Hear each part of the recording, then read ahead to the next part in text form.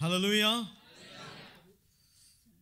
ஆண்டவராகிய இயேசு கிறிஸ்துவின் நாமத்தினாலே உங்கள் ஒவ்வொருவருக்கும் என்னுடைய வாழ்த்துக்களை தெரிவித்துக் கொள்கிறேன் I welcome each and every one of you in the sweet name of our Lord and Savior Jesus Christ. என்னை அன்போடு அழைத்த அருமையான என்னுடைய சகோதரர் சஞ்சீவ் அவர்களுக்கு என்னுடைய நன்றியை தெரிவித்துக் கொள்கிறேன் I thank uh, Sanjeev who has welcomed me here. Ah, pastor Rajeev அவர்களுக்கும் என்னுடைய நன்றியை தெரிவித்துக் கொள்கிறேன் I also thank Pastor Rajiv. பெரிய பாஸ்டருக்காகவும் நன்றியை தெரிவித்துக் கொள்கிறேன் uh, thank the senior pastor. உங்கள் மத்தியில் இன்றைக்கு ஆண்டவர் அழைத்து வந்ததற்காக தேவனுக்கு நன்றியை தெரிவித்துக் கொள்கிறேன் I thank God for bringing me here among you. இந்த நாளிலுமாக நாம் ஆண்டவருடைய பாடுகளை குறித்து தியானிக்கிற ஒரு நாளாய் இருக்கிறது This day we are here to meditate on the sufferings of our Lord Jesus. அநேக இந்த இந்த குட் ஃப்ரைடே அன்னைக்கு நிறைய சர்ச்சஸ்க்கு நான் போயிருந்திருக்கேன். ஒவ்வொரு வருஷமும் போயிருக்கிறேன். Year I have gone to many churches on this uh, Good Friday day, ஆனால் எல்லாம் அங்கே போய் பார்த்தீங்க அப்படின்னா ரொம்ப துக்கமாக உட்காந்துருப்பாங்க but always they will be very sorrowful. எனக்கு நான் அந்த துக்கமாக போயிருக்க மாட்டேன் ஆனால் அவங்கள பார்த்தோன்னே எனக்கு துக்கமாயிடும் I wouldn't have been so sorrowful, but when I see them so sad, I will also become sad. ஆனால் இங்கே கொஞ்சம் வித்தியாசமாக இருக்கிறதுக்காக ஆண்டவரை ஸ்தோத்தரிக்கிறேன் But since it's different here, I thank God. ஏன்னா நம்முடைய முன்னோர்கள் இந்த நாளை குட் ஃப்ரைடே அப்படின்னு தான் சொல்கிறாங்க Because our elders previously, they called this day only as Good Friday. Not bad ஃப்ரைடேன்னு சொல்லவே இல்லை அவங்க ஆகவே இது ஒரு கெட்ட வெள்ளிக்கிழமை என்று சொல்லவே இல்லை அப்படி இருக்கும் பொழுது ஏதோ ஒரு நல்லதை இந்த இந்த நாளில் அவங்க பார்த்ததுனால தான் அவங்க குட் ஃப்ரைடேன்னு சொல்லியிருக்கிறாங்க So just because they have seen something good, that's why they've called it Good Friday. ஆண்டவரும் சிலுவையில் அதை தான் செஞ்சார் So God also did that in, on the cross. ஆனால் நிறைய பேருக்கு அது புரியல But many people don't understand it. ஒரு முறை ஒரு ப்ரீச்சர் வந்து ஒரு சர்ச்சில் பிரசங்கம் பண்ணிட்டு இருக்கிறத நான் கேட் கேட்டுட்டு இருந்தேன் Once a pastor came and he was preaching in a church and I was listening to the message. அவருடைய பிரசங்கத்தில் தன்னுடைய ஊரில் இருக்கிற ஒரு மனிதனை பற்றி பேசினார் He told about a man in his village. அந்த கிராமத்தில் சிலுவை முத்துன்னு ஒருத்தர் இருந்தாராம் In that village, there was a man called Siluvai Muthu. சிலுவை முத்துனா தெரியுதா சிலுவை முத்து ஆ சரியா அந்த இந்த மாதிரி Literally transferred in, uh, translated in English, it is a cross and a pearl. Pearl okay அவர் அந்த சவுத் சைடு பார்த்தீங்கன்னா இந்த மாதிரி சிலுவை அப்படின்னு சொல்லி நிறைய பேர் இருப்பாங்க. சிலுவை அந்தோணி சிலுவை முத்து அப்படின்னு நிறைய பேர் இருப்பாங்க. So there are many people in the south who are named like this uh, as uh, uh, cross and uh, the name of the person. இந்த புனித வெள்ளிக்கிழமை அன்று அந்த இந்த போதகர் வந்து அந்த சிலுவை முத்தை பார்க்க வேண்டிய ஒரு சூழ்நிலை ஏற்பட்டு விட்டது. So on this Good Friday, the pastor happened to meet this uh, person, Siluvai Muthu. ஆனா சிலுவை முத்து தன்னுடைய தன்னுடைய ஸ்தானத்துல இல்ல அவரு. But that person was not there in his place. என்ன அப்படின்னா ஃபுல்லா குடிச்சிருக்கிறாரு Why? Because he was fully drunk. உடனே இந்த பாஸ்டர் கேட்டாரு ஐயா உங்க பேர் சிலுவை முத்து So the pastor asked him, Your name is Siluvai Muthu. இன்னைக்கு புனித வெள்ளி வேற Today is a Good Friday.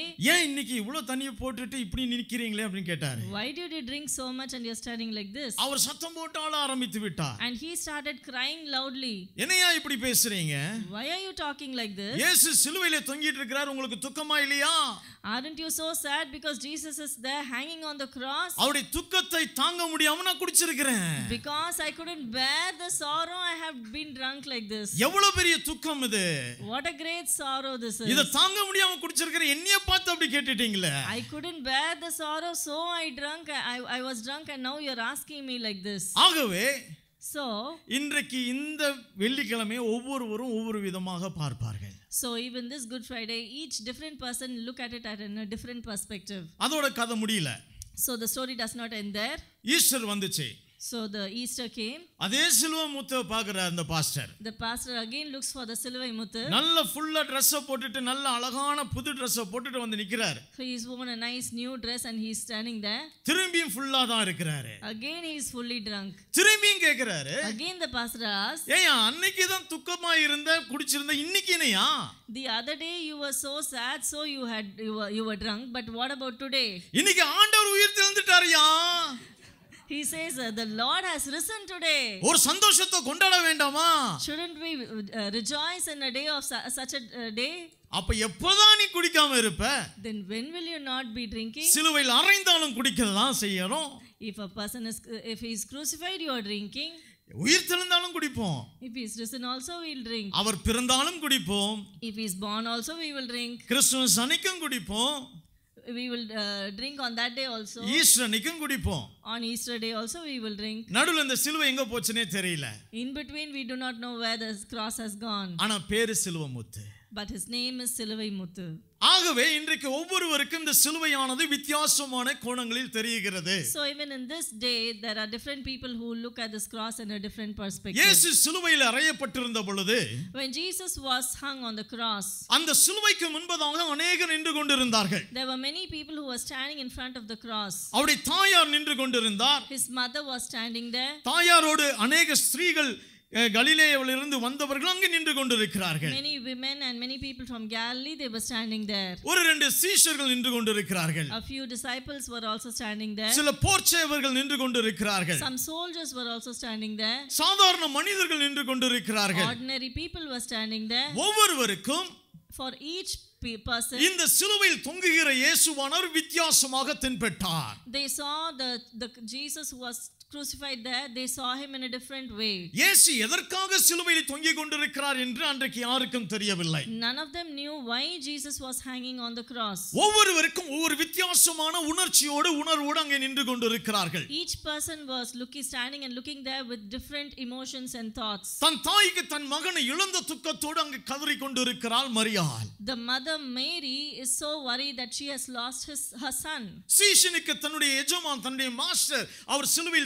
தொங்கிக் கொண்டிருக்கிறார் என்ற ஒரு துக்கம் The disciple is sorrowful that his master is there hanging on the cross. போர்ச்சேவர்களுக்கு அவர் மறித்து விட்டாரா அறைந்தோமே மறைத்து மறித்து விட்டாரா என்று சொல்லி அவரை பார்த்து கொண்டிருக்கிறார்கள் The soldiers are looking at Jesus saying, We have crucified him. Has he died? அநேகர் அவரை பார்த்து கொண்டிருக்கிறார்கள் Many other people are looking at him. இதில் இவர்களை தவிர்த்து வழிபோக்கர்கள் அந்த இடத்திலே போகும் பொழுது Other than them, the people who are passing by, அவரை பார்த்தார்கள் they were also looking at Jesus. போறவன் ஏன் சும்மா போன ஏதாவது ஒன்று சொல்லிட்டு போலாமே They were not going simply, but they also wanted to say something. சில பேர் பார்த்தீங்கன்னா நம்ம நம்முடைய நம்ம பப்ளிக்ல இருக்கும் பொழுது பார்த்தீங்க அப்படின்னா Sometimes we see some people, எவனோ ஒருத்தனை போட்டு அடிச்சிட்டு இருப்பானுங்க கும்பலா so they will be one person uh, will be beaten up by a group of people. இ- புதுசா ஒருத்தன் வருவான் There will be a new person coming there. எதுக்கு அடிக்கிறாங்கன்னே தெரியாது இவனும் போய் அடிப்பான் He won't even know why they are beating that fellow, but he will also go and beat him up. ஏன் ஏன் நீ அடிக்கிற அப்படின்னு கேட்டீங்கன்னு வைங்க அவனை If you ask him why he is beating, ஓ எல்லாம் அடிக்கிறாங்க நானும் அடிச்சேன்யா everyone are beating, so I am also beating him. அதே போல அன்றைக்கு சிலுவையை பார்த்து கொண்டிருந்தவர்கள் என்னையா பாக்குறீங்கன்னா எல்லாம் பாக்குறாங்க நானும் பாக்குறேன் So the same way, so many people were looking, and when questioned, why are you looking? Everyone are looking, so we are also looking. சிலுவையை அநேகர் பார்த்தார்கள் There are many people who looked at the cross, ஆனால் அதை எப்படி அவர்கள் பார்த்தார்கள் அப்படிதான் அது விளங்கிற்று but how, in what way they thought and they looked at it, that's how they saw it. சிலருக்கு அது துக்கமாக தெரிகிறது For some people, it was a, very sorrowful thing. சில பேர் சொல்லுகிறார்கள் இவன் தன்னுடைய தேவனுடைய குமாரன் என்று சொன்னானே இப்பொழுது அவனை ரட்சித்துக் கொள்ளட்டும் என்கிறார்கள் Some people were saying, He says he calls himself the Son of God, then let him save himself. அவனுக்காக தான் அங்கு தொங்கிக் கொண்டிருக்கிறார் என்ற சத்தியமே தெரியவில்லை They didn't even know that Jesus was hanging on the cross for them. ஆகவே அநேகர் அந்த இடத்துல கூடி வந்திருந்தாலும் So even though many people were gathered there, அவர்களுக்கு எதற்காக சிலுவையில இயேசு தொங்கிக் கொண்டிருக்கிறார் என்று தெரியவில்லை they did not know why Jesus was hanging there on the cross. இன்றைக்கு நம்முடைய நிலைமை என்ன Today, what about us? இன்னைக்கு நமக்கு லீவ் எல்லாம் கொடுத்துருக்குறாங்க கவர்மெண்ட்ல அதுவே பெரிய சந்தோஷம் So the government has given us leave today. That itself is a big thing.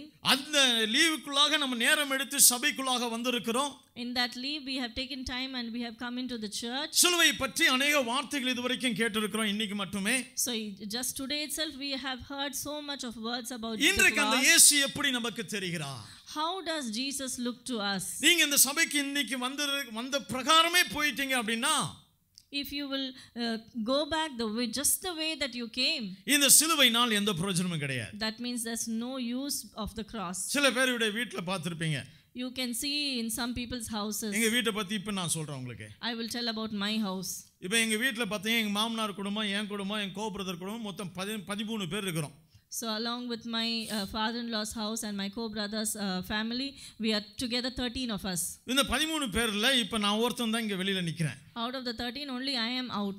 பன்னிரெண்டு பேர் இப்போ வீட்டில் இருக்கிறாங்க The 12 of them are at, at ஒரே home. வீட்டில் தான் இப்போ இப்போ எல்லாம் கூடி இருக்கிறாங்க So, they are all together in one house. என்ன செஞ்சிட்டு இருக்கிறாங்கன்னு நினைக்கிறீங்க What do you think they're doing? ஏழு விதமான கூட்டு பொரியலை செஞ்சிட்டு இருக்கிறாங்க They are doing seven different types of cooking. அவங்ககிட்ட கேட்டேன் I asked them. இது பல வருஷமா நடந்துட்டு இருக்கு என் கல்யாணம் ஆகி இருபது வருஷம் ஆகுது இருபது வருஷமா நடந்துட்டு தான் இருக்குது From the time I was married, it's 20 years, and every year it's happening like this. எங்க மாமனார் குடும்பத்துல இது பல வருஷமா அவங்க முன்னாடி செஞ்சிட்டு இருக்கிறது செஞ்சிட்டு இருக்கிறாங்க In my uh, father in law's house, for many years, they've been doing like that, and so they continue to do like this. என்னையா ஏழு கூட்டு பண்ணி வச்சிருக்கிறீங்க அப்படின்னு கேட்டா Why is it that uh, you're doing seven different types of side dishes? ஏழு வார்த்தைகளுக்கு அடையாளமா So it is depictive of the seven words of Jesus. நீங்க இப்போ போனை போட்டு கேளுங்க ஒவ்வொ- ஒவ்வொருத்தரும் ரெண்டு ரெண்டு கூட்டு செஞ்சிட்டு இருக்காங்க ஒவ்வொரு வீட்ல If you want, you call up ஒன்றரை மணிக்கு போய் out. பார்த்தீங்கன்னா அட்ரஸ் தரம் போய் பார்த்தீங்கன்னா ஒரு பன்னெண்டு பேர் உட்காந்து அப்போ ஏழு கூட்டையும் சாப்பிட்டுட்டு இருப்பாங்க There'll be seven different side dishes, and 12 of them will be gathered together and they'll be நான். கேட்டேன் I asked them, எதுக்கு வெஜிடபிள் போடுறீங்க Why are you using vegetables? ஒரு ஏழு விதமான நான்வெஜ் செய்யலாமே அப்படின்னு கேட்டேன் You can do seven types of non veg items. புனித வெள்ளி அன்னைக்கு போய் அதை போய் சாப்பிடுவோமா? அதான் ஒத்து வருமா? அப்படின்றாங்க. So they are asking, How can we eat non veg on a Good Friday? வே அதுவும் இன்னைக்கு காலையில போய் இலையில தான் சாப்பிடுவாங்க. They will eat only in the banana leaf. ரொம்ப பயபக்தியா சாப்பிடுறாங்க. You eating it with very, a very ஏன்னா சிலுவையில் ஆண்டவர் ஏழு வார்த்தை சொன்னதை அவங்க ஏழு கூட்டு வழியா சாப்பிட்டுட்டு இருக்கிறாங்க. ஐயா நடந்துட்டு கொண்டு இருக்கிற காரியம் நானும் போய் சாப்பிட தான் போறேன் So even I'm going to go and eat that only. இப்போ இந்த சிலுவையை எப்படி நாம் பார்க்கிறோம் So how are we seeing the cross? எப்படா அந்த புனித வெள்ளி வரும் ஏழு கூட்டு செய்யலாம் So when will the Good Friday come so that we can do seven side dishes? அப்போ இந்த இயேசு சிலுவையில் அறையப்பட்டவராய் தொங்கிக் கொண்டிருக்கிற அந்த காட்சி நமக்கு முன்பதாக சற்று கொண்டு வர வேண்டும் So we need to ca- uh, bring to remembrance the sight of how Jesus was hanging on the cross. இயேசு உண்மையாகவே இந்த உலகத்திலே அவர் மரித்த பொழுது அநேகர் கூட்டம் கூடி விலகி போய்விட்டார்கள் When, when Jesus was in this world, there are many people who came and he went away from him. ஆனால் வேதத்திலே ஒரு முக்கியமான ஒரு ஆளை பற்றி இன்றைக்கு நாம் பேச விரும்புகிறேன் But I want to speak about a very important person from the Bible. பவுல் பார்த்த இயேசு வித்தியாசமானவர் The, the way Paul saw Jesus, it was different. அவர் பார்த்த ஆண்டவர் எப்படிப்பட்டவராய் இருக்கிறார் What type of Christ was the Christ whom Paul saw? ஒன்று கொரிந்தியரின் புஸ்தகம் 1 Corinthians ஒன்றாம் அதிகாரம் chapter 1 இருபத்தி மூன்றாம் வசனத்தை ஒருவர் வாசியுங்கள் verse 23. நாங்களோ சிலுவையில் அறையப்பட்ட கிறிஸ்துவை பிரசங்கிக்கிறோம் யூதருக்கு இடரலாயும் கிரேக்கருக்கு பைத்தியமாய் இருக்கிறார் But we preach Christ crucified, a stumbling block to Jews and foolishness to Gentiles. நாங்களோ சிலுவையில் அறையப்பட்ட இயேசு கிறிஸ்துவை பிரசங்கிக்கிறோம் But we preach Christ crucified. இப்பொழுது அந்த சிலுவைக்கு முன்பதாக அப்போஸ்தலனாகிய பவுல் நிற்பதை போல கொஞ்சம் இம- கொஞ்சம் நினைத்துக் கொள்ளுங்கள் Let us just imagine and see that Paul is standing in front of the crucified Jesus. இயேசுவை அவரும் பார்க்கிறார் சிலுவையிலே தொங்கினவராக He is also seeing Jesus hanging on the cross. அவரோடு கூட ரெண்டு பேர் நின்று கொண்டிருக்கிறதை போல நீங்கள் யூகித்துக் கொள்ளுங்கள் Uh, let us imagine that there are two other people along with Paul looking at Jesus. ஒருவன் யூதன் இன்னொருத்தன் கிரேக்கன் One person is a Jew and another person is a Greek. இந்த மூன்று பேரும் இயேசுவை சிலுவையில் சிலுவையில் அறையப்பட்டவராக பார்க்கின்றனர் All three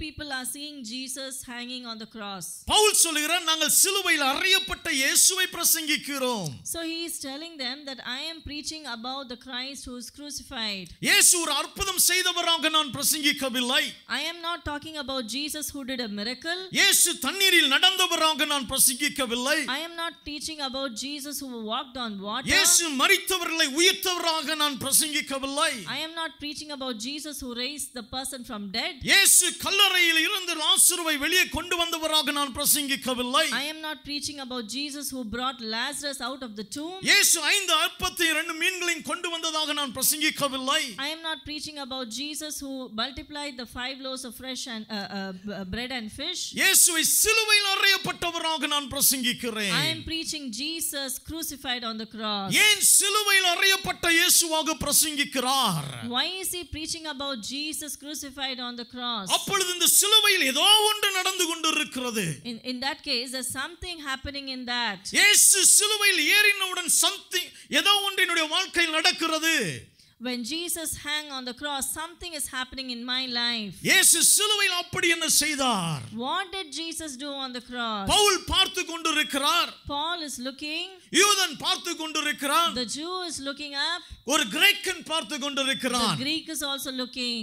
இந்த யூதனுக்கும் கிரேக்கனுக்கும் இயேசு பைத்தியமாய் தோன்றுகிறார் For the Jew and the Greek, it is foolishness for them. ஏனென்றால் அவருடைய பார்த்த பார்வை வேறு Why? That is how they looked at it. இருபத்தி இரண்டாம் வசனம் சொல்லுகிறது Verse 22 we read, யூதர்கள் அடையாளத்தை கேட்கிறார்கள் Jews demand miraculous signs. யூதர்கள் இயேசுவினிடத்தில் அடையாளத்தை பார்க்க வந்தார்கள் Jews, they just wanted to see miracles from Jesus. இவர் மேசியாவாக இருந்தால் இவர் ராஜாவாக வல்லவாய் இருக்க வேண்டும் If he is the Me- Messiah, he has to be the king. யாரும் கேட்காத ஒரு அனாதையாக தொங்கிக் கொண்டிருக்கிறாரே Why is he st- staying alone like an orphan? இது என்ன அடையாளம் இது What is the sign ஒரு? அவமானத்தின் சின்னம் This is a sign of uh, you know, dishonor, disgrace. ஒரு சாபத்தின் சின்னம் This is a sign of curse. இந்த அடையாளத்தை நாங்கள் எதிர்பார்க்கவில்லை We are not expecting such a ஆகவே sign. இது எங்களுக்கு பைத்தியமாய் தோன்றுகிறது So this is foolishness for us. அவர்களால் இயேசுவை ஏற்றுக்கொள்ள முடியவில்லை They were not able to accept Jesus. ஏனால் நாங்கள் எதிர்பார்த்த இயேசு இப்படி இருக்க மாட்டார் Because the Jesus that we expected, he will not be like this. எங்கள் இயேசு ஒரு ராஜாவாகத்தான் வருவார் Our Jesus will only come as a king. ஒரு திருடனை போல சிலுவையிலே தொங்கவே மாட்டார் He will never die on the cross like a thief. கிரேக்கன் பார்க்கிறான் The Greek is looking up. இயேசுவை சிலுவையில் தொங்கினவராய் பார்க்கிறான் He is looking at Jesus who is hanging on the cross. அவன் எதிர்பார்க்கிற ஞானம் அங்கே விளங்கவில்லை He could not uh, get the uh, see the wisdom that he was expecting ஏனென்றால் because கிரேக்கர்கள் ஞானத்தையே தேடுவார்கள் Greeks will always look for wisdom. சாக்ரட்டஸ் எல்லாம் நமக்கு தெரியும் We all know about Socrates. அவர்கள் எப்பொழுதும் பாத்தீங்கன்னா ஞானத்தை தேடுவார்கள் They will always be looking for wisdom. இயேசு ஒரு பிலாசபராக வெளிப்படவில்லை So Jesus did not look appear as a philosopher for them. உலகத்தில் யாரும் சொல்ல முடியாத ஒரு வார்த்தை அவர்கள் எதிர்பார்க்கபடி சொல்லவில்லை So they did not expect any uh, any word that was out of ordinary from Jesus. ஆனா எந்த ஞானம் அவரிடத்துல வெளிப்படலையே They did not find any wisdom from our him. சிலுவையில தொங்கிக் கொண்டிருக்கிறாரே He is there hanging on the cross. ஒரு கோழையை போல தொங்கிக் கொண்டிருக்கிறாரே He is there hanging on the cross like a coward. ஒரு பைத்தியமாரி தொங்கிக் கொண்டிருக்கிறாரே He was hanging on the cross like a ஆகவே madman. நாங்கள் எதிர்பார்ப்பது அவரிடத்துல இல்ல So what we expect we do not find in அப்ப Jesus. கிரேக்கனுக்கும் ஆண்டவர் ஒன்றுமில்லை So the Lord is nothing for the Greeks also. யூதனுக்கும் ஒன்றுமில்லை For the Jews also it's nothing. ஆனால் பவுல் அவரை பார்க்கும் பொழுது But when Paul sees him, சிலுவையில் தொங்கிக் கொண்டிருக்கிற இயேசுவை பார்க்கும் பொழுது when Paul sees Jesus hanging on the cross, அவருக்குள்ளாக தேவ வெளிப்பாடு உண்டாகிறது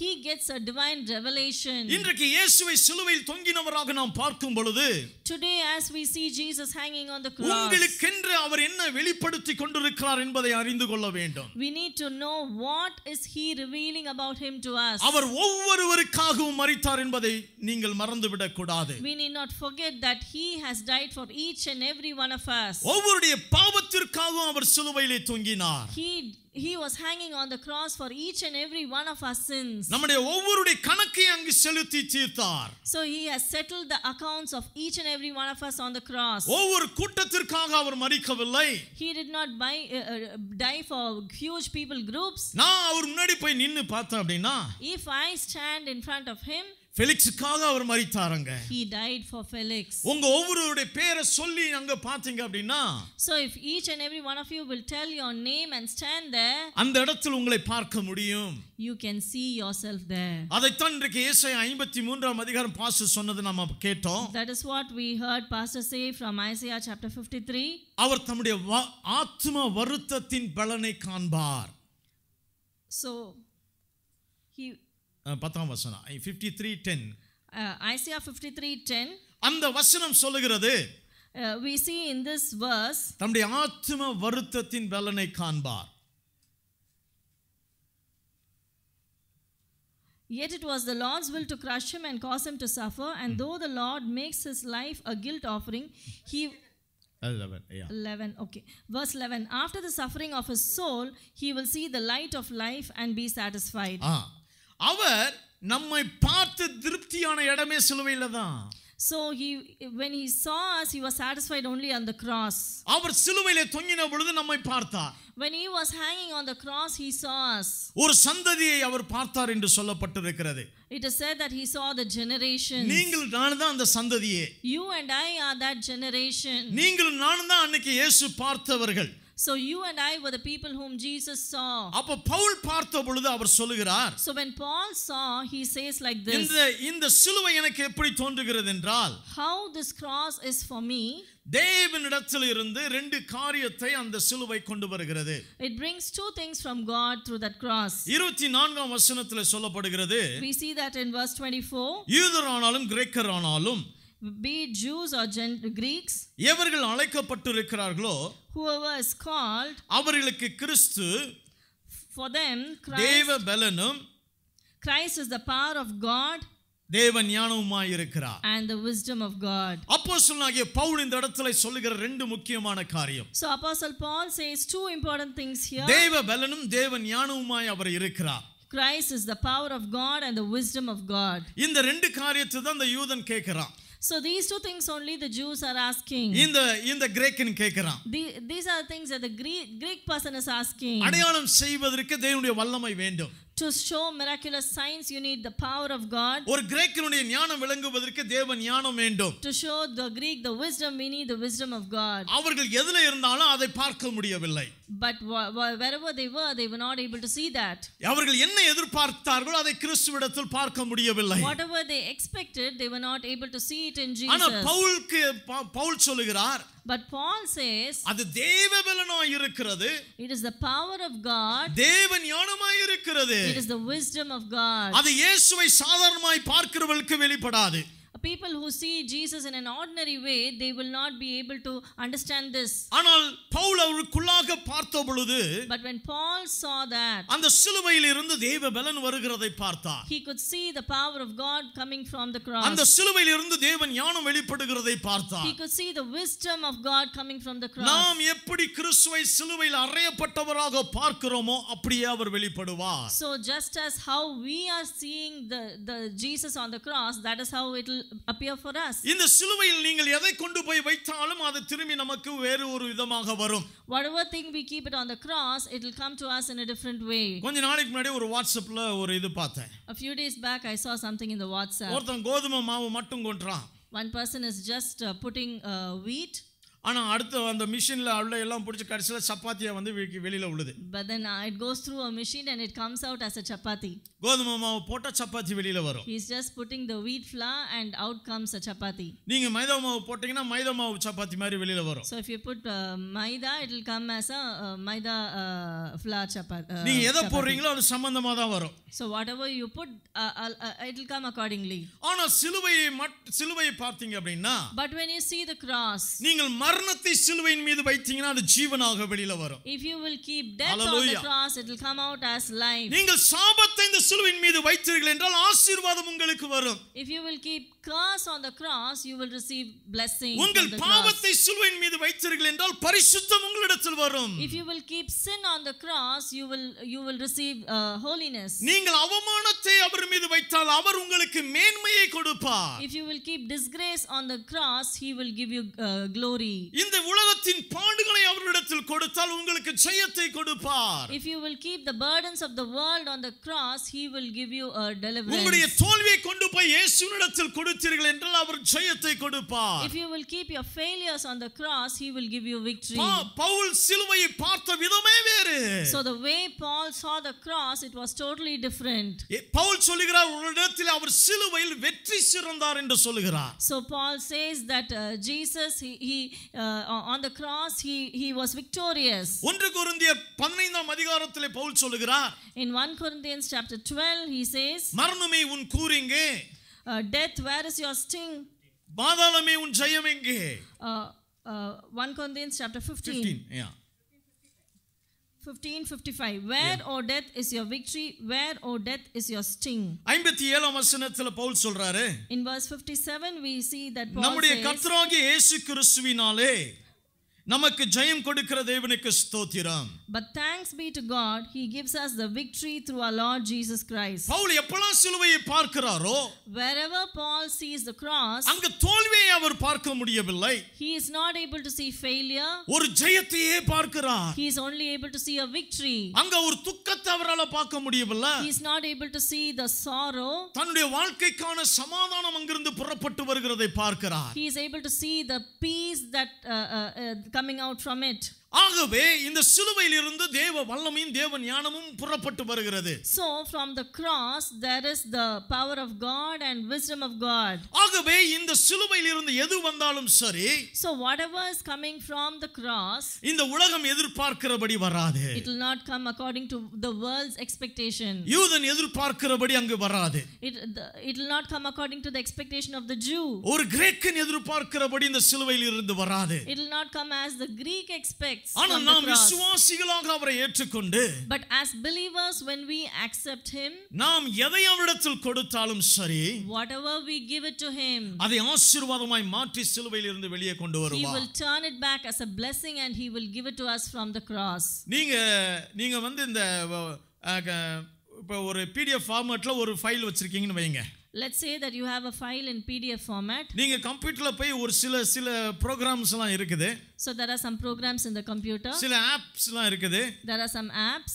அதுல போய் நீங்க பிடிஎஃப் ஃபார்மேட்டை போட்டு நீங்க எந்த வேர்ட் ஃபார்மேட் கேட்டிங்கன்னா அந்த வேர்ட் ஃபார்மேட்டை கன்வெர்ட் பண்ணி கொடுக்கும் So if you put it in the PDF and you wanted to convert it into a Word format, it will convert and give it to you. அது எப்படி convert பண்ணுது என்ன ப்ராசஸ்ல போதெல்லாம் உங்களுக்கு எனக்கும் தெரியாது So you and I w- wouldn't know in what process how this is happening. ஒரு ஃபார்மேட்ல கொடுத்து இன்னொரு ஃபார்மேட்ல அதை எடுக்கிறோம் You give it in one format and you can get it back in another format. அவன்கிட்ட போய் "நீ இது எப்படி ஆச்சு அப்படின்னா தெரியாது யாருக்கும் தெரியாது If you ask them how is it happening, no one knows. அதே மாதிரி நீங்க இயேசுவிடத்துல சிலுவையில போய் சாபத்தை கொடுத்தீங்க அப்படின்னா So in the same way, if you will give the curse to Jesus அவர் ஆசீர்வாதத்தை திரும்ப கொடுப்பார் நமக்கு He will give back blessing to us. Is a converting point Uh, இது ஒரு uh, மாறுதலான ஒரு காரியம் ஆகவே இந்த இடத்துல இந்த சிலுவையில தான் நம்முடைய வாழ்க்கை மாறுகிறது So at this point, uh, at the cross is the conversion that takes place. சிலுவை இல்லாமல் கிறிஸ்துவ வாழ்க்கையே கிடையாது Without cross, there is no Christian life. அதனால தான் இயேசுவே சொன்னாரு That's why Jesus said, இயேசு மரிப்பதற்கு முன்பதாகவே சொல்லுகிறார் even before Jesus died, he says this ஒருவன் என்னை பின்பற்றி வர விரும்பினால் If anyone wants to follow me, தன் சிலுவை எடுத்துக்கொண்டு என்னை பின்பற்ற கடவன் he has to carry the cross and follow me. ஆகவே சிலுவை என்பது கிறிஸ்துவ வாழ்க்கையில் ஒரு அங்கம் So the cross is a part of a Christian life. ஆகவே இந்த சிலுவை இல்லாமல் கிறிஸ்துவ வாழ்க்கை கிடையாது. So without the cross, there is no Christian life. ஆகவே தான் ஆங்கிலத்தில் சொல்லுவாங்க there is no crown without the cross. ஆகவே சிலுவை இல்லாமல் நமக்கு கிரீடம் கிடையாது. அந்த சிலுவை யார் சுமக்கிறாங்களோ அவங்க தான் இயேசுவை பின்பற்ற முடியும். Whoever is carrying the cross, only they can follow Christ. சிலுவை என்பது கிறிஸ்துவ வாழ்க்கையின் முக்கியமான ஒரு அங்கம்.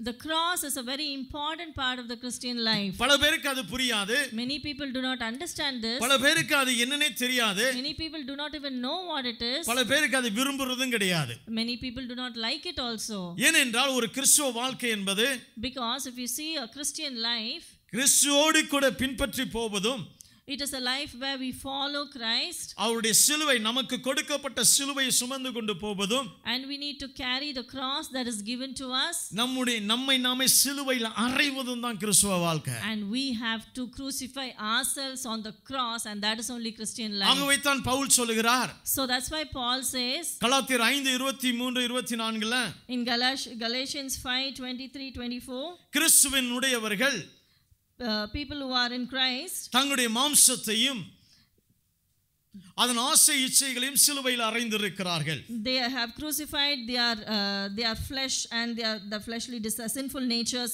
on the cross.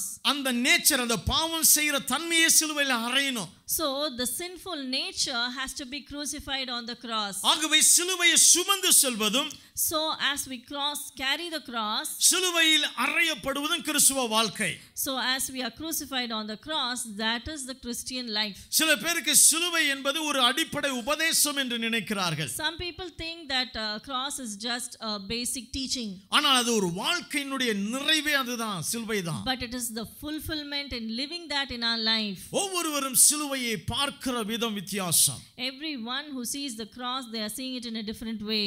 இங்கு பவுல் பார்க்கிற பொழுது தேவ வல்லமையும் தேவ ஞானமும் வெளிப்படுகிறது Here, as Paul sees the cross, he is able to see the wisdom of God and the அதற்கு power of பின்பதாக God. சிலுவையில் இருந்து என்ன நடக்கிறது என்று பார்த்தால் After that, when we see what happens in the cross, இயேசு மூன்று விதமான ஜனங்களை தெரிந்து கொள்கிறார் Jesus uh, chooses three types of people. அங்கிருந்து இயேசு மூன்று விதமான ஜனங்களை தெரிந்து கொண்டார் என்று சொல்லப்படுகிறது So it is said that Jesus is uh, is taking uh, three types of people, choosing three types of people. முதலாவதாக பார்க்கும் பொழுது Firstly, இருபத்தி ஏழாம் வசனம் ஒன்று கொரிந்தியர் ஒன்றாம் அதிகாரம் 1 Corinthians chapter 1 verse இருபத்தி ஏழாம் 27. வசனம் Verse 27. ஞானிகளை வெட்கப்படுத்தும்படி தேவன் உலகத்தில் பைத்தியமானவைகளை தெரிந்து கொண்டார் But God chose the foolish things of the world to shame the wise. ஞானிகளை வெட்கப்படுத்தும்படி தேவன் உலகத்தின் பைத்தியமானவைகளை தெரிந்து கொண்டார் God chose the foolish things of the world to shame the wise. இந்த தெரிந்து கொள்ளுதல் எப்படி நடக்கிறது அப்படின்னா How does this choosing happen? அவர் சிலுவையிலே அறைந்தவராய் தொங்கிக் கொண்டிருக்கிற பொழுது நடக்கிறது When he was there hanging on the cross, this happens. Pavul சிலுவையில் அறையப்பட்ட இயேசுவை பிரசங்கித்துக் கொண்டிருக்கிறார் Paul is preaching the Jesus who was crucified on the cross. அங்கே இருந்து தேவ ஞானமும் தேவ வல்லமையும் வெளிப்படுகிறதே From there, the wisdom of God and the power of God is, dis, uh, is displayed. இந்த இந்த தேவ வல்லமையும் தேவ ஞானமும் யாரிடத்தில் போய் தங்குகிறது என்று பார்க்கும் பொழுது This power of God and the wisdom of God, where is it going? அவர் தெரிந்து கொள்கிற வித்- அவர் தெரிந்து கொள்கிற விதமே வித்தியாசமானது So, in what way he is choosing is totally different. கிரேக்கன் நினைத்திருக்கலாம் The Greek might have thought, இயேசு வந்தால் எங்களை தான் தெரிந்து கொள்வார் if Jesus comes, he will choose me only. ஏனென்றால் நாங்கள் ஞானவான்கள் Because we are wise people. ஏனென்றால் நாங்கள் சகலவற்றையும் கற்று தேர்ந்தவர்கள் Because we are people who have learned everything. எங்களுக்கு உலகத்துல என்னென்ன நடக்குது அப்படின்றது தெரியும் We know everything that is happening in the world.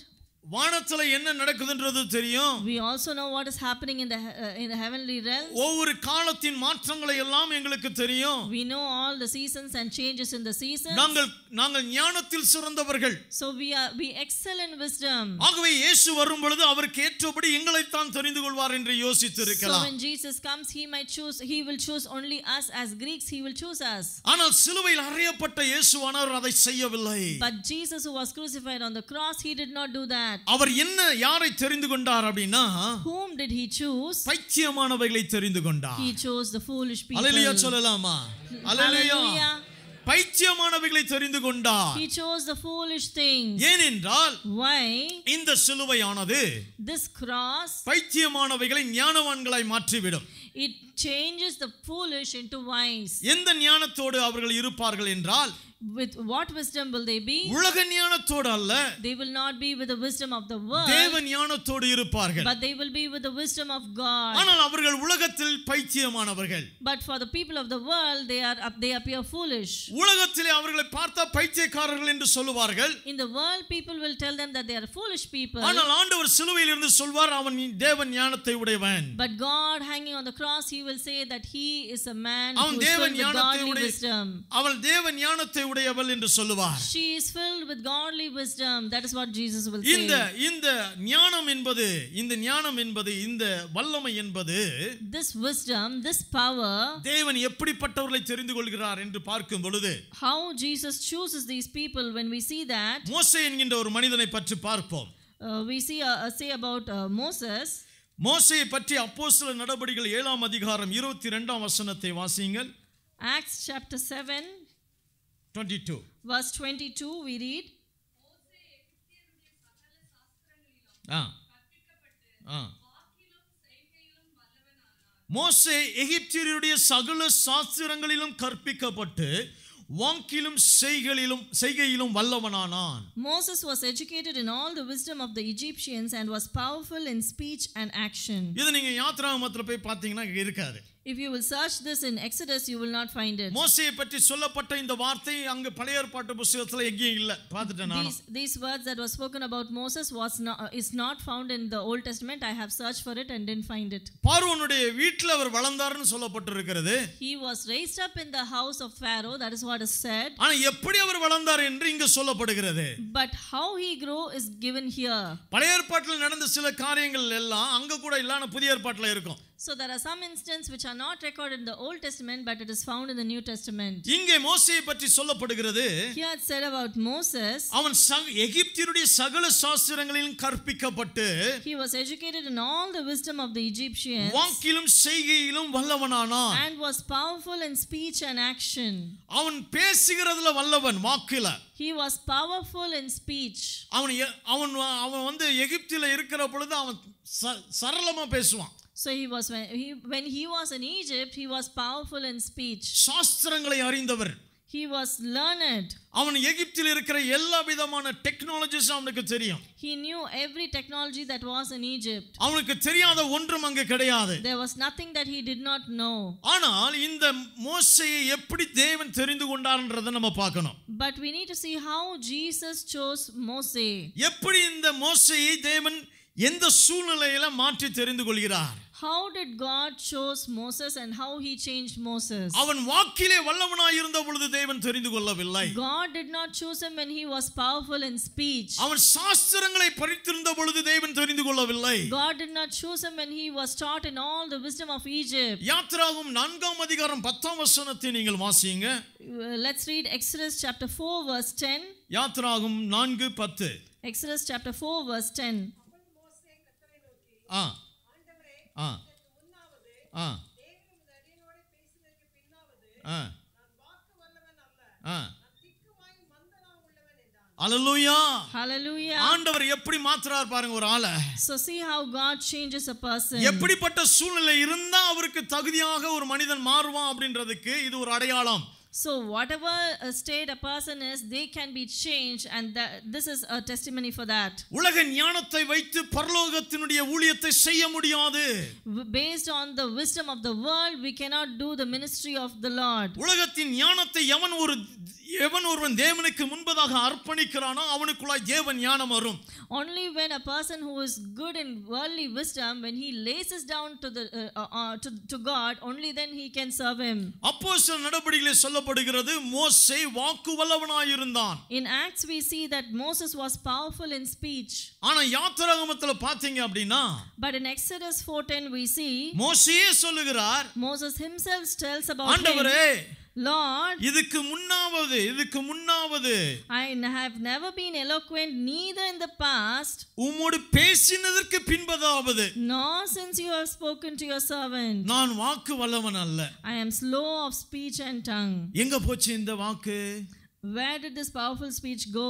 நாற்பது வருஷம் எ- எகிப்துல வாழ்ந்தாச்சு He has been living in Egypt for 40 years. நாற்பது வருஷம் வனாந்தரத்துல வாழ்ந்தாச்சு He has lived in the desert for 40 years. வனாந்தரத்துல வாழ்ந்து முடியிற அந்த எண்பதாவது வயசுல After he finishes living in the desert at the 80 years of age, நல்ல சரளமா பேசிட்டு இருந்த மோசே the Moses who was talking very powerfully, இப்ப ஆண்டவரிடத்துல சொல்றாரு now he's telling to G- நான் God, வாக்கு வல்லவன் அல்ல I am I am slow of speech. திக்கு வாயும் மந்த நாவும் உள்ளவன் Uh, I am not eloquent and I am slow of speech and tongue. கற்றுக்கொண்டதெல்லாம் எங்க போச்சியா What about the things that you have learned so far?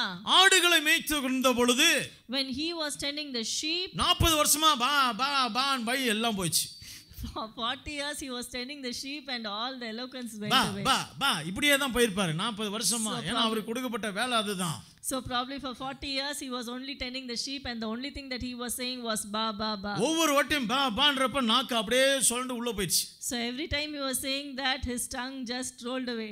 இப்ப பா பான்னு ஆண்டவருக்கு முன்னாடி வந்து நிக்கிறாரு Now he's not able to say anything to the Lord. இப்ப ஆண்டவர்கிட்ட போய் சொல்லும் போது சொல்ல முடியாது நான் நாற்பது வருஷத்துக்கு முன்னாடி வந்திருந்தா நல்லா இருந்திருக்குமே ஆண்டவரே He couldn't tell uh, tell the Lord that it would have been good if I came to நான் அப்ப 40 எப்படி. இருந்தேன் எப்ப வந்து நிக்கிறீரு 40 years back, you know how I was, but now you're coming and நான். அன்னைக்கு போய் அவன்கிட்ட பேசியிருந்தேனா அவன் லாங்குவேஜ்ல பேசியிருந்திருப்பேன் If I had spoken to uh, to him at that time, I would have spoken in his own language. இப்ப நான் அரேபியனா இருக்கிறேன் Now I have become an Arabian. இதுக்கு முன்னாடி ஈஜிப்சியனா இருந்தேன் I was an Egyptian at that time. அதுக்கு முன்னாடி ஹீப்ருவா இருந்தேன் before that I was a Hebrew, இப்ப என்ன லாங்குவேஜ் பேசுறேன்னு எனக்கே தெரியலன்னு ஆண்டவருக்கு முன்னாடி நிக்கிறாரு but I do not even know what language to speak, and that's ஐயா இதுக்கு. முன்னாடியும் சரி பின்னாடியும் சரி உங்க பாத்துல இருந்து நான் இப்ப திக்குவாயி Before see, before and after seeing you, now I am slow of speech.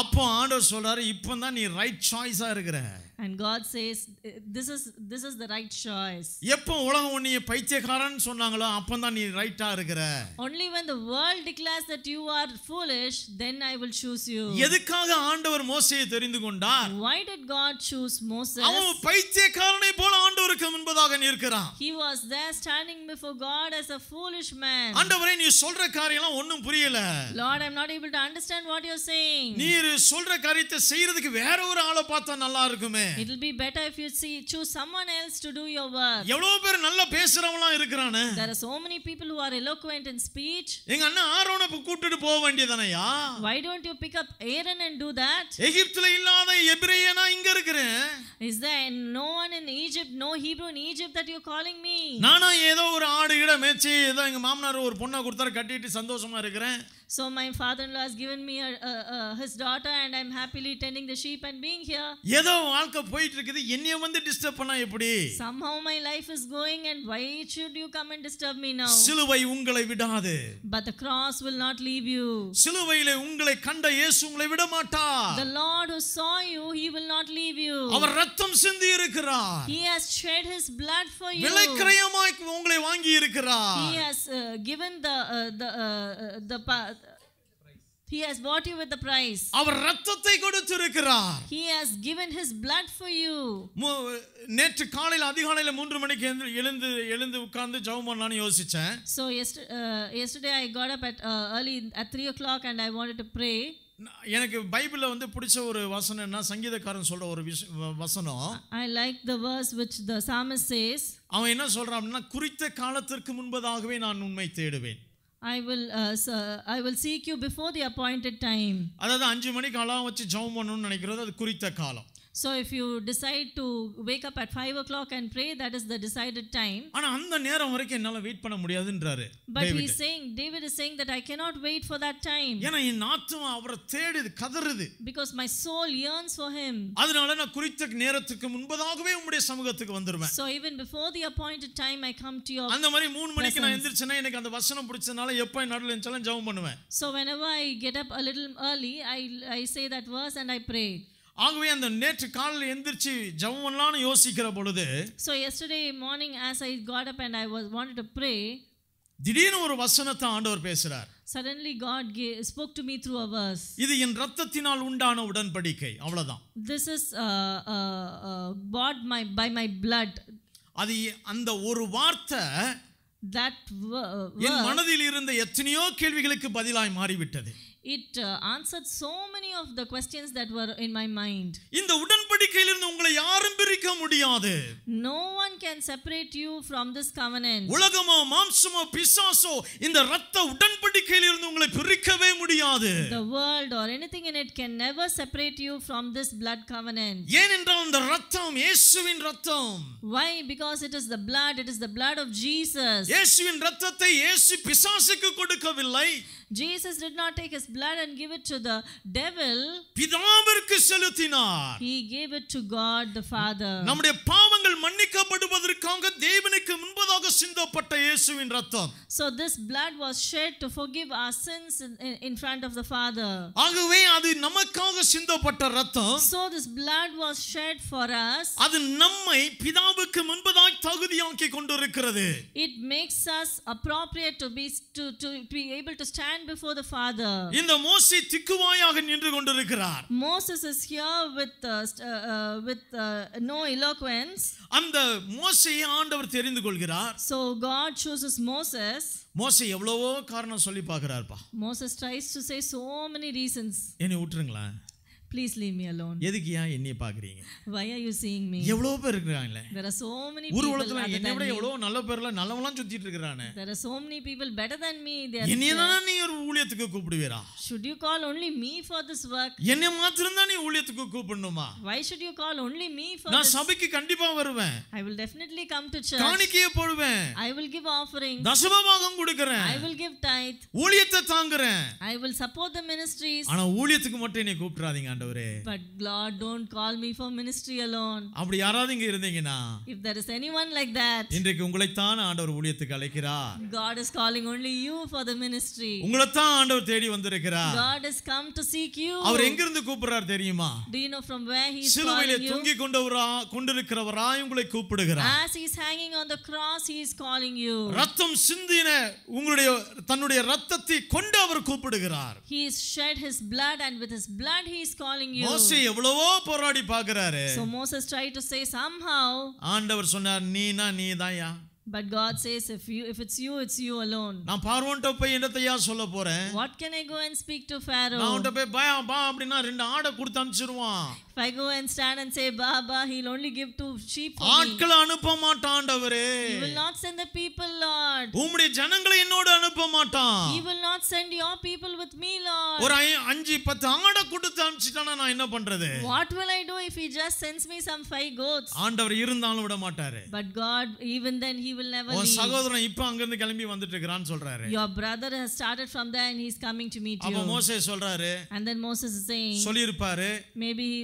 have told, அப்ப அதுதான் முடிவா So is that your final decision?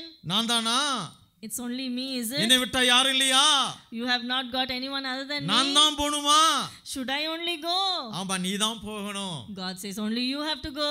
இந்த மோசைக்கும் இந்த சிலுவையில் அறையப்பட்ட இயேசுக்கு என்ன சம்பந்தம் So, what is the uh, connection between Moses and the Jesus who's hanging on the cross? மத்தேயு மார்க்கு சுவிசேஷத்துல இருக்கிற ஒரு காரியம் It- the, the things that are written in Matthew and Mark, லூக்காவிலும் இருக்கிறது it is there in Luke also, ஆனா இந்த வசனம் அந்த சம்பவத்தோடு சேர்க்கவில்லை but this verse is not connected with that incident. லூக்கா ஒன்பதாம் அதிகாரம் Luke chapter 9, முப்பதாம் வசனமும் முப்பத்தி ஓராம் வசனத்தையும் ஒருவர் வாசிங்க verses 30 and 31. Someone read. அன்றியும் மோசே ஆ ம் ம்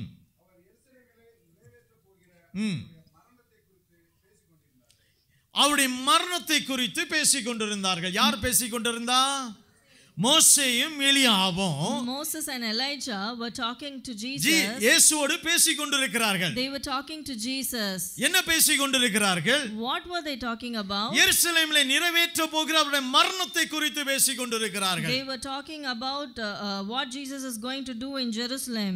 ஆகவே மோசே ஒரு பைத்தியக்காரன் So Moses is foolish, ஆனால் இயேசுட சிலுவை மரணத்திற்கு அவருக்கு பங்கு உண்டு but he has a part with Jesus hanging on the cross. அவர் தான் செத்து போயிட்டாரே அவர் பழைய ஏற்பாட்டு தீர்க்கதரிசி அல்லவான்ற நீங்களும் நானும் கேட்கலாம் You and I might question that Moses has died and he's passed away. He is of the Old Testament. ஆனா பிதாவுடைய சந்நிதி சந்ததி அவருடைய பிரசனத்துல இந்த இந்த இந்த நிறைவேற்ற போகிற இந்த திட்டத்தை குறித்து டிஸ்கஸ் பண்ணிட்டு இருக்கிறாங்க But they are discussing about the will of the Father, about Jesus. இயேசு எடுத்து வைத்த ஒவ்வொரு அடியும் பிதாவினால் திட்டமிடப்பட்டது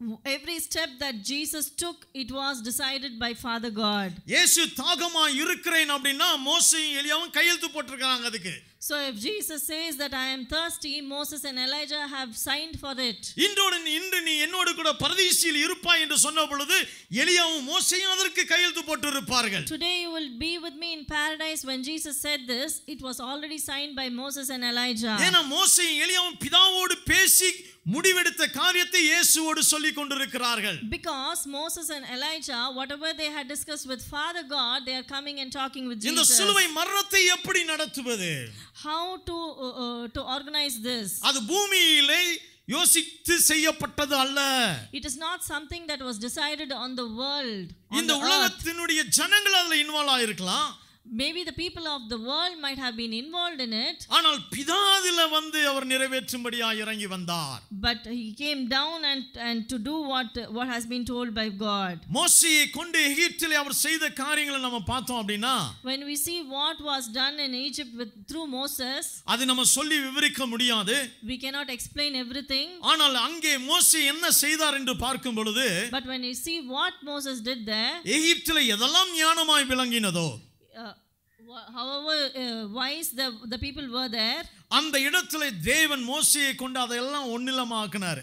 God used Moses and may, brought it to nothing.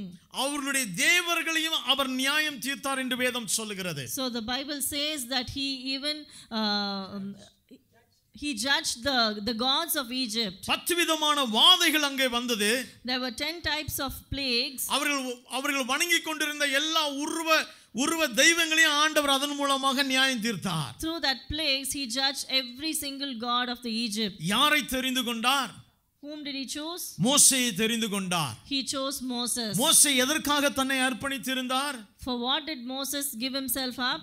எபிரேயர் எபிரேயருக்கு எழுதின நிருபம் Hebrews பதினோராம் அதிகாரம் chapter 11, இருபத்தி ஆறாம் வசனம் verse 26. எபிரேயர் பதினொன்று இருபத்தி ஆறு யாராவது ஒருவர் வாசிங்க இனி வரும் பலன் மேல். நோக்கமாயிருந்து. ஆ. ஆ மோசே எதை எண்ணினார்னு பார்த்தீங்க அப்படின்னா So, what did Moses consider important? கிறிஸ்துவின் நிமித்தம் வரும் நிந்தையை அதிக பாக்கியம் என்று எண்ணினாராம் He regarded disgrace for the sake of Christ. மோசேக்கும் இயேசுவுக்கும் எந்த காலத்துல சம்பந்தம் உண்டாச்சு இது What is the relationship between Moses and Jesus Christ? ஏசு மோசே எங்கேயாவது சொன்னாரா கிறிஸ்து நிமித்தம் வரும் நிந்தையை எனக்கு போதியா அப்படின்னு சொல்லி எங்கேயாவது சொல்லப்பட்டிருக்கா Did, did Moses ever say that he, uh, he regarded disgrace for the sake of Christ? நிறைய ஆவிக்குரிய சத்தியங்கள் நமக்கு இன்னைக்கு வந்து தெரியாம இருக்கலாம் There are many spiritual truths that we may not know today. எழுதப்படாம இருக்கலாம் It may not be written. ஆனா மோசே இயேசுவை பார்த்தாரா அப்படின்னா did Moses see Jesus? கண்டிப்பா பார்த்திருப்பாரு Yes, he definitely எப்படி saw. பார்த்து எப்படி சொல்றீங்க அப்படின்னு கேட்டீங்க அப்படின்னா How are you saying this? You might ask இயேசு. ஒரு இடத்துல சொல்றாரு Jesus tells at one place, ஆபிரகாம் என்னை கண்டு களி கூர்ந்தான்றாரு even Abraham saw and rejoiced. தாத்தாவுக்கு தாத்தா தாத்தாவுக்கு தாத்தா ஆபிரகாம் மோசேக்கு So, uh, so Abraham is the great great grandfather of Moses. அவரே பார்த்தாராம் So even Abraham saw. அப்புறம் என்ன மோசே பார்க்கறதுல என்ன இருக்கு Then why wouldn't Moses see? மோசே அதனால தான் பார்த்தீங்க அப்படின்னா இந்த சிலுவை அறையப்பட்ட இயேசுவை um, uh, the, the Jesus who was cross, uh, crucified on the cross, இயேசுவை அவன் கண்டான் he saw Jesus. அதனால தான் அவனுடைய பைத்தியமானது ஞானமாய் விளங்கினது That's why his foolishness became இந்த wisdom. உலகத்தில் எது ஞானமாய் விளங்குகிறதோ அதை அவமாக்கும்படியாய் கர்த்தர் நம்மை தெரிந்து கொண்டிருக்கிறார் Whatever is wise in this world, to make it null, null and void, God has chosen us. இரண்டாவதாக ஆண்டவர் எதை தெரிந்து கொண்டிருக்கிறார் Secondly, what has God chosen? ஒன்றாம் அதிகாரம் ஒன்று கொரிந்தியர் ஒன்றாம் அதிகாரம். 1 Corinthians chapter 1, அதுக்கு அடுத்த வசனத்தை வாசிங்க. இருபத்தி அஞ்சு வாசிங்க. ஆ. சரி. இல்லை இல்லை இருபத்தி நாலே வாசிங்க இருபத்தி நாலே வாசிங்க. சாரி ஆ. ஆ. சரி சரி. சரிங்க ஒரே நிமிஷம். இருபத்தி ஏழாம் வசனம் ரெண்டாவது பகுதியை வாசிங்க. பலமுள்ளவைகளை வெட்கப்படுத்தும்படி தேவன் உலகத்தில் பலவீனமானவர்களை தெரிந்து கொண்டார். இரண்டாவதாக அவர் தெரிந்து கொண்டவர்கள் யார் அப்படின்னா Secondly, whom did God choose? பலம் பலவீனம் உள்ளவைகளை பலவீனமானவர்களை தேவன் தெரிந்து கொண்டார் God chose the weak things of the world to shame the strong. முதலாவது பைத்தியங்களை தெரிந்து கொண்டார் Firstly, God chose the foolish things. இரண்டாவது அவர் பலவீனமானவைகளை தெரிந்து கொண்டார் Secondly, God chose the weak things of the world. பவுலுடைய வாழ்க்கையில் பார்க்கும் பொழுது When we see the life of Paul, அவருடைய ஊழியம் முழுவதும் அவருடைய சரீரத்தில் பலவீனம் இருந்தது throughout his ministry, he had weakness in his body. அவர் அநேக முறை அடிக்கப்பட்ட ஒரு தேவனுடைய அப்போஸ்தலன்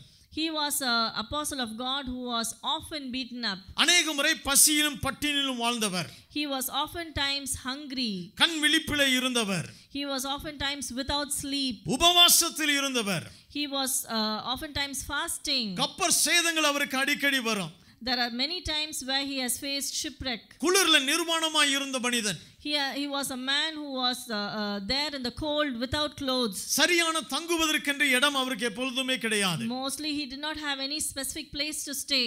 ரெண்டு கொரிந்தியர் பனிரெண்டாம் வசனம் ஒன்பதாம் வ- ஒம்- பனிரெண்டாம் அதிகாரம் ஒன்பதாம் வசனத்துல சொல்லப்பட்டிருக்கிறது 2 Corinthians chapter 12, verse 9. அதற்கு அவர் என் கிருபை உனக்கு போதும்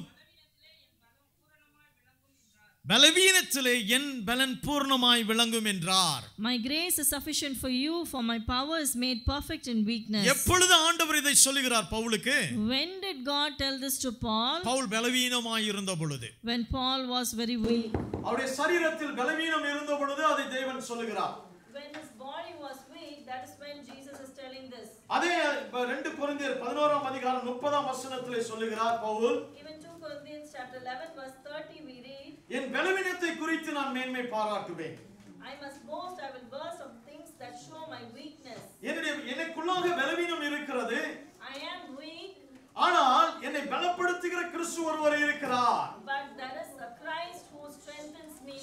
ஆகவே அவர் சொல்லுகிறார் நான் மேன்மை பாராட்டுவேன்றாரு So he says that I will boast. நம்மளுக்கெல்லாம் உடம்பு சரியில்லாம போச்சுன்னா கொஞ்சம் யோசிச்சு பாருங்களா When we become sick, just think and see. ஸ்லைட்டா உடம்பு கொஞ்சம் சூடானாலே Slightly, if there's some temperature, அப்படியே எல்லா வேலையும் அப்படியே போட்டுட்டு ஓரமா போய் ஒரு இடத்துல corner.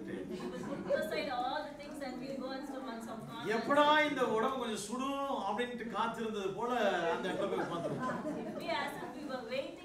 sick. எப்பா இன்னைக்கு சமையல்லாம் கிடையாதுப்பா அப்படின்றது. ஏன்? உடம்பு சூடா இருக்குது. நவர முடியாது Not able to move. டாக்டரை பார்க்கணும். அப்பாயின்மெண்ட் போட்டீங்களா Did you get an appointment? லைட்டா உடம்பு சூடா இருக்குது. அந்த அம்மா அப்பதான் வெ- வெயில்ல போயிட்டு உள்ள வந்திருக்கும் So maybe just, just then they would have gone out uh, in the Um. hot and come back. குடும்பத்துல எப்படா அந்த அம்மா சமைக்கணும் ஒரு அஞ்சு பேர் சாப்பாடுக்காக உட்கார்ந்துட்டு இருப்பான் Waiting when mommy will finish cooking. அதுக்கு காத்திருந்து அஞ்சு பேரையும் பார்த்து அப்பாயின்மெண்ட் போட்டீங்களான்னு கேட்பாங்க But she will look at those people and ask, Have you booked an appointment? Doctor பாத்தீங்களா Did you see the doctor? டாக்டருக்கு ஃபோன் பண்ணீங்களா Did you call the doctor? எதுக்கு லேசா உடம்பு சூடானதுக்கு Why? Because there's a slight ஆனா பவுல். சொல்லுகிறார் But Paul is N saying, பலவீனத்திலே நான் மேன்மை பாராட்டுகிறேன் I will boast in my suffering. ஏனென்றால் கிறிஸ்துவின் பலம் என்னுடைய சரீரத்தில் விளங்குவதற்காக So that Christ's strength will be made perfect in me.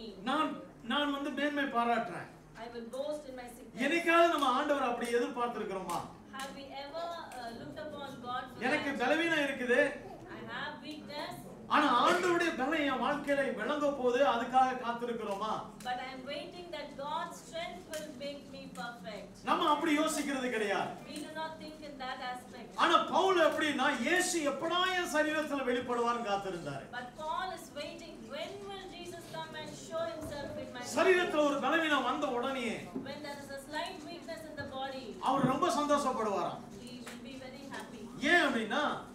இயேசு எப்படி என் சரீரத்துல பலனாய் Uh. அல்லேலூயா Hallelujah. நாம அப்படி கிடையாது ஏன்னா இயேசுவை அந்த அளவுக்கு ருசித்து பார்த்தவர் அப்போஸ்தலனாகிய Pavul Because Paul has tasted Jesus that much. இந்த பவுலை கொண்டுதான் தேவன் ஆசிய கண்டத்தை அசைத்தார் So with this one man Paul, God just shook the whole continent of Asia. இந்த பவுலை கொண்டுதான் தேவன் எல்லா இடங்களிலும் நற்செய்தியை அறிவித்தார் Through this Paul only, gospel in so many places. எவ்வளவு தெரியாத இடங்களில் எல்லாம் புறஜாதிகளுக்கு முதல் முதலாவதாக சுவிசேஷம் பிரசங்கிக்கப்பட்டது இந்த பவுலின் மூலமாகத்தான் There were so many Gentiles who have never heard about Jesus, but they heard the gospel of Jesus through Paul. ஏனென்றால் இந்த பவுல் பலவீனமான ஒரு பாண்டம் Why? Paul was a weak person. இன்னைக்கு நீங்க பலவீனமா இருக்கிறீங்க அப்படின்னா Today, if you are weak, நீங்க சிலுவையில் தொங்கிக் கொண்டிருக்கிற இயேசுவை பார்க்கணும் you have to look at Jesus hanging on the உங்க cross. வாழ்க்கையில நடக்கிற ஒவ்வொரு கஷ்டமான சூழ்நிலையையும் Every difficult situation that you are going through in your life, உங்களுடைய வாழ்க்கையில பிசாசு கொண்டு வருகிற எந்த சூழ்நிலையையும் whatever situation that the devil brings to in your life, நீங்கள் இயேசுக்கு நேரா திருப்ப பழகி கொள்ளணும் you will have to learn to turn it to Jesus. நானே அதை செஞ்சிருவேன் அப்படின்னு நின்னீங்கன்னா முடியாது I will do it if you think like that. It may, maybe it will not happen. நானே அதை பார்த்துக்குவேன் அப்படின்னு சொன்னீங்கன்னா முடியாது. நீங்கள் எந்த காரியத்தையும் இயேசுக்கு நேராக கொண்டு போக தெரியணும். ஆகவே தான் பவுல் தன்னுடைய பலவீனத்தை இயேசுக்கு நேராக அனுப்புகிறார். தன்னுடைய பலவீனத்தை சிலுவையில் தொங்கிக் கொண்டிருக்கிற இயேசுவுக்கு நேராக அனுப்பின பொழுது அங்கே இருந்து பலன் வருகிறது he received strength from தேவ. பலன் வருகிறது. தேவ ஞானம் வருகிறது பவுல் God. சொல்லுகிறார் நாங்கள் இந்த உலகத்தின்படியாக நாங்கள் பிரசங்கிக்கவில்லை. நாங்கள் உலகத்தின்படி சாதுரியமாய் பிரசங்கிக்கவில்லை. நாங்கள் பேசுகிறதெல்லாம் பரலோகத்தினுடைய காரியம் தேவனுடைய வல்லமை வெளிப்படும்படியாய் God's glory will be displayed. தேவனுடைய ஞானம் வெளிப்படும்படியாய் That God's power and God's wisdom will be displayed. தேவனுடைய ஊழியக்காரனாய் பவுல் இருக்கிறார் Paul stands as a servant of God. அவரை கொண்டு இந்த உலகத்தை கலக்க முடியும் என்று பவுலுக்கு தெரிந்தது God knew that uh, uh, that he can shake the world through Paul. இந்த உலகத்தையே இயேசுவை வைத்து உலகத்தை கலக்கலாம் என்கின்ற சத்தியம் பவுலுக்கு நன்றாய் தெரியும் He could. Uh, Paul knew that he could shake the world through Jesus. ஆனா நமக்கு எப்படி இருக்குது அப்படின்னா But for us, how is it? நம்ம தான் கலங்கி போயிருக்கிறோம் We are only shaken. ஐயா பைபிள் இருக்குதா Do you have the Bible? எல்லா வருஷன்லயும் நான் பைபிள் வச்சிருக்கேன்னு சொல்றேன் I have all the versions of Bible. எந்த பைபிள் எந்த வருஷன்ல உங்களுக்கு பைபிள் வேணும் You, in what version do you want the Bible? என்கேஜேபி வேணுமா கேஜேபி வேணுமா Do you want NKJV or do you want KJV? ஈப்ரூல வேணுமா Do you want it in Hebrew? Original லாங்குவேஜ்ல உங்களுக்கு பைபிள் வேணுமா Do you Bible in its original language? தமிழ்ல இப்போ லேட்டஸ்டா இருக்கிற தமிழ் பைபிள் வேணுமா you want the latest Tamil version Bible? Concordance வேணுமா you want concordance? எல்லாம் வீட்ல ரேக்ல பக்கம் பக்கம் அப்படி இருக்குது We, we have all those in our house. அப்பா அம்மா அந்த அந்த பைபிள்ல இருக்கிற ஒரு சத்தியம் வாழ்க்கையில கிரியை செய்தாமா So is, is one one truth which is in the Bible isn't working in your life? அதுதான் தெரியாது That we do not know. நீங்க வேணா வந்து செக் பண்ணுங்கன்னு சொல்றோம் If you want, you come and check. That is what we will. ஆனா இந்த பைபிள்ல இருக்கிற வேத சத்தியமானது ஜீவனாய ஆவியாயும் இருக்கிறது But the truth that is in the Bible, it is it is life and it is it is true. பவுலுக்கு ஆண்டவர் ஒரு வார்த்தை சொல்லிட்டாருன்னா அதை பவுல் விடவே மாட்டார் When God gives a word to Paul, Paul will never let it go. நான் விசுவாசிக்கிறவர் இன்னார் என்று அறிந்திருக்கிறேன்றாரு I know whom I believe. That's what Paul says. நான் இந்த வேதத்தின் மூலமாய் ஆண்டவரை அறிந்திருக்கிறேன் Through the word of God, I have known God. இந்த வேதத்தை கொண்டு நான் கர்த்தரை என் வாழ்க்கையை தனிப்பட்ட விதத்திலே அறிந்திருக்கிறேன் Through the word of God, I have known God in a personal way. நான் தேவனை அறிந்திருக்கிறேன் என்று சொன்னால் I have known God, if that's what is said. நமக்கு முன்னாடி பிசாசுலாம் வந்து வாலாட்டவே முடியாது In that case, the devil can never come and shake. ஆனா எப்படி நீங்க பிசாசு செய்யறான் But what is the devil doing? வீட்ல வந்து ஃபுட்பால் விளையாண்டுட்டு போறான் He is coming and playing football at home and going. நம்ம வீட்ல இருக்கும் பொழுதே நமக்கு நமக்கு முன்னாடியே ஃபுட்பால் விளையாண்டுட்டு போயிட்டு இருக்கிறான் So even when we are in the house, he playing football in front of us in the house and he is happily நம்ம playing. வீட்ல இருக்கிற ஆசீர்வாதத்தெல்லாம் அவன் எடுத்துட்டு போறான் He is taking away all the blessings for that is being அவனுக்கு blessed bye bye by bye him. பாய்னு hi ஃபையும் அடிச்சு விட்டுட்டு அனுப்புறோம் We are telling him bye and we are giving high five and sending him out. அவனை மேற்கொள்ள வேண்டியதுதானே But why don't we overcome him? ஐயோ நான் ஜெபம் பண்றதே இல்லை எப்படி அவனை மேற்கொள்றது I'm not even praying. How can I overcome the devil? நான் வேதம் வாசிக்கிறதே தூசி தட்டி தான் நான் பைபிளை எடுப்பேன் ஒவ்வொரு வாட்டியும் Even take the Bible, I will dust dust it and only then I take it. எப்ப தூசியை தட்டுறது எப்படி பிசாச விரட்டுறது When will we dust it off and when can we uh, chase away the devil? சில பேர் வீடு வீட்டுல பைபிளை பாத்தீங்க அப்படின்னா அதுக்கு மேல ஒரு இன்ச்சுக்கு அப்படியே பாத்தீங்கன்னா ஒரு லேயரா ஒரு தூசி இருக்கும் Some people's house, if we see the Bible, there will be at least one inch of dust over the Bible. அதை எப்ப தட்டுறாங்களோ அப்பதான் அதை எடுக்க முடியும் Only when they dust it, they can take it. ஆகவே பாத்தீங்க அப்படின்னா நம்ம வேதத்தை வாசிக்காம ஜெபிக்காம பிசாசெல்லாம் நீங்க வந்து திரும்பி கூட பார்க்க முடியாது. அவன் சிரிச்சிட்டு போயிடுவான். Uh, கேவலமா சிரிச்சிருவான் நம்மள. இயேசு நாமத்தினால போ அப்படின்னா.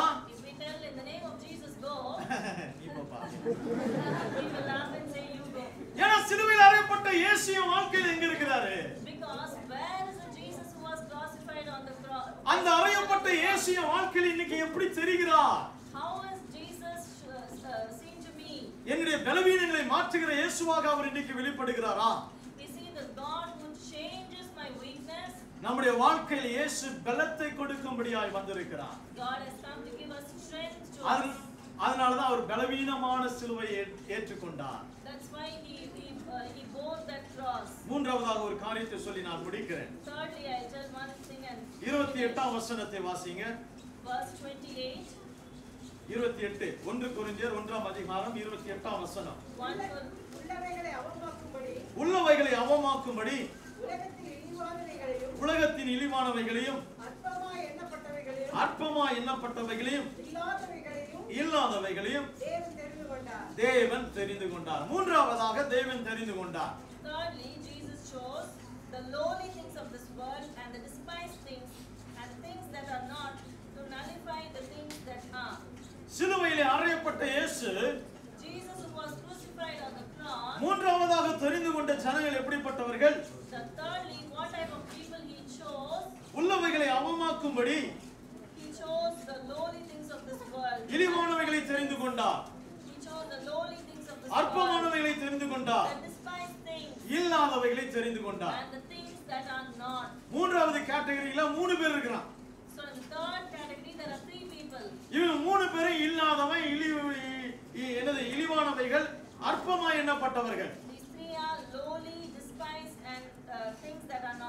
ஆண்டவருடைய தெரிந்து கொள்ளுதல் பார்க்கும் பொழுது ஐந்து விதமான மக்களை பற்றி இங்கு சொல்லப்பட்டிருக்கிறது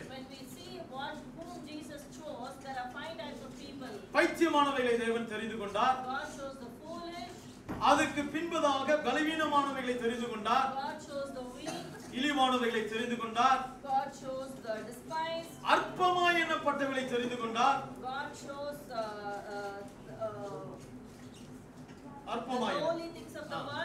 இல்லாதவைகளை தெரிந்து கொண்டார். இந்த அஞ்சு கேட்டகரி கீழே நம்ம எங்கேயாவது இருக்கிறோமான்னு பாருங்க So we need to see if we are one among any of these five categories. இந்த உலகம் நம்மளை பார்த்து பைத்தியம் சொல்லி இருந்திருக்கலாம். நமக்கு ஒண்ணுமே இல்லாத இல்லாதவன்டாவன் அப்படின்னு சொல்லியிருக்கலாம் அற்பமா எண்ணப்பட்டிருக்கலாம் நம்ம. இழிவானவைகளாக எண்ணப்பட்டிருக்கலாம். அல்லனா நம்மளை பார்த்து ஒரு பலவீனமான ஆளியாவா அப்படின்னு சொல்லியிருக்கலாம். இன்னைக்கு நம்ம அப்படிப்பட்ட ஒரு சூழ்நிலை இருக்கிறோம் அப்படின்னா சிலுவையிலே தொங்கிக் கொண்டிருக்கிற இயேசு நம்மளை தான் பார்த்து கொண்டிருக்கிறார் the Jesus who was hanging on the cross is looking at us. என்ன செய்ய விரும்புறார் அப்படின்னா?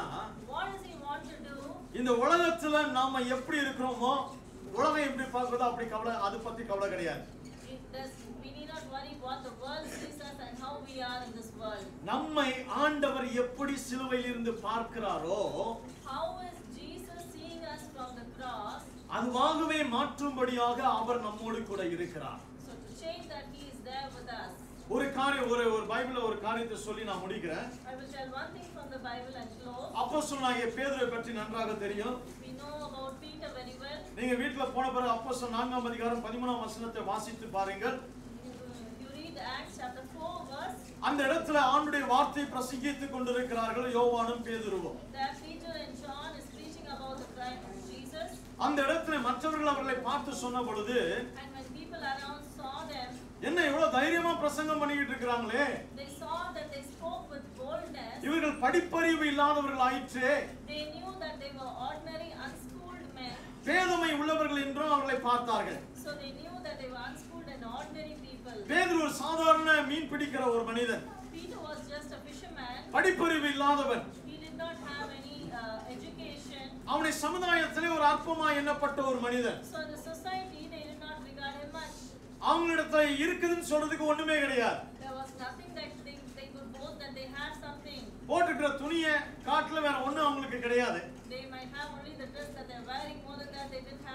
இயேசுவோடு கூட மூன்று வருஷம் வர போயிட்டு years. படுக்கிறதுக்கு கூட இடம் கிடைக்காது. சாப்பாடு ஏதாவது அற்புதம் செஞ்சாதான் நடக்கும் So even food, if Jesus அடுத்த வேளை சாப்பாடுக்கு ஆண்டவர் முகத்தை தான் பார்க்கணும். எங்கேயாவது காசு கொடுத்து பிரெட் கிட்ட வாங்க சொல்வாரா அப்படின்னு எப்பவும் அவரை பார்த்துக்கிட்டே இருக்கணும்.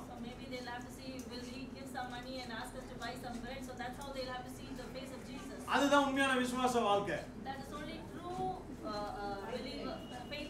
ஆமா எல்லாம் வச்சுக்கிட்டு அடுத்த வேளை எல்லாம் சாப்பிடுறது எல்லாம் நான் விசுவாச வாழ்க்கையில இருக்கிறேன்னு சொல்லக்கூடாது We have everything and we cannot say that I'm living a faith life. ஆண்டவர் நம்மை திருப்தியாக ஆசீர்வதிப்பார் God will bless us and satisfy us. இந்த இந்த பேதருக்கு என்ன ஒண்ணுமே கிடையாது So Peter, he did not have anything. ஆனா அங்கு பிரசங்கம் பண்ணி கொண்டிருக்கிறார் But there he is preaching. இயேசுவை குறித்து பிரசங்கம் பண்ணி கொண்டிருக்கிறார் He is preaching about Jesus. நீங்கள் கொலை செய்த இயேசுவை நான் பிரசங்கிக்கிறேன் என்று சொல்கிறார் I am uh, talking about the Jesus whom you crucified. யூதர்களை நீங்கள் ஒப்பு கொடுத்த இயேசுவை பற்றி நான் பிரசங்கிக்கிறேன் Oh Jewish people, I am talking about the Jesus whom you handed over to be அந்த ரட்சகர் That Jesus is the Savior. அன்றைக்கு அவன் பேசின அந்த வார்த்தையை கேட்டு The words that he spoke, ஐயாயிரம் பேர் இயேசுவை ஏற்றுக்கொண்டார்கள் hearing those words, 5,000 people were saved. இன்னைக்கு மைக் வச்சு கத்தினாலே ஐயாயிரம் பேர் மாட்டேங்கிறான் But Today, even with mic, if we shout, 5,000 people are not getting saved. Best PS system போட்டா கூட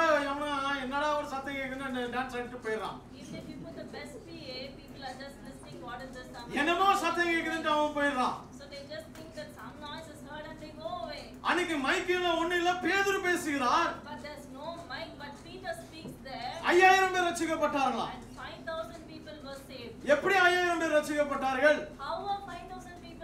அவர்களுக்குள்ளாய் தெய்வ வல்லமை இருந்தது There was the, the, the, the power of God within them. அவர்களுக்குள்ளாய் தேவ ஞானம் இருந்தது. உலகம் எப்படி பேதுருவை பார்த்தது? ஒரு கோழையாக பார்த்தது. அற்பமா எண்ணப்பட்டதாய் பார்த்தது. ஒரு இழிவானதாய் பார்த்தது ஆனால் இயேசு சிலுவையில் அறையப்பட்டவராய் பேதுரு பார்த்த பொழுது But when Peter saw Jesus hanging on the cross, அவன் பேச்சிலே ஒரு வல்லமை இருந்தது there was a power in his speech. அவன் பேச்சிலே ஒரு ஞானம் இருந்தது There was wisdom in his speech. ஐயாயிரம் பேர் அன்றைக்கு பரலோகத்தில் பர- பரலோகத்தினுடைய ராஜ்யத்தில் சேர்க்கப்பட்டார்கள் 5,000 people were added in the kingdom of God. இது எப்படி நடக்கிறது How did this happen? சிலுவையில் தொங்கின இயேசு கிறிஸ்து இவை. எல்லாவற்றிற்கும் ஒரே ஒரு ரகசியம் தான் And For all these things, there's only one secret. Pavul கண்ட சிலுவையில் அறையப்பட்ட இயேசு. இன்றைக்கு சிலுவையில் அறையப்பட்ட இயேசு இன்றைக்கு நமக்கு எப்படி தெரிகிறார் Today, when we see Jesus hanging on the cross, how do we see? தேவன் ஞானமாய் நமக்கு வெளிப்படுகிறாரா We see, uh, are we seeing as God's wisdom? தேவனுடைய வல்லமையாய் வெளிப்படுகிறாரா as God's uh, power? இன்றைக்கு நீங்க இந்த சபைக்குள்ளாக வந்திருக்கிறீங்க You have come into this church today. அருமையான இந்த இந்த இந்த புனித வெள்ளி நாளை நம்ம வந்து தேவ சமூகத்துல நம்ம செலவழித்து இருக்கிறோம் We have spent this Good Friday in God's presence. நீங்க என்னெல்லாம் ஆண்டவர்ல கொடுக்கணும்னு கொண்டு வந்திருக்கீங்களோ Whatever things you have brought to give it to God, பாரமானாலும் சரி it உங்க கவலையானாலும் சரி நீங்கள் எதிர்பார்த்திருக்கிற காரியமா இருந்தாலும் சரி உங்கள் பாவமாய் இருந்தாலும் சரி. இந்த சிலுவையில் அறையப்பட்ட இயேசுவிடத்தில் வைத்து விட்டு இந்த இடத்தை விட்டு போங்க May you keep it at the uh, on Jesus hanging on the cross and then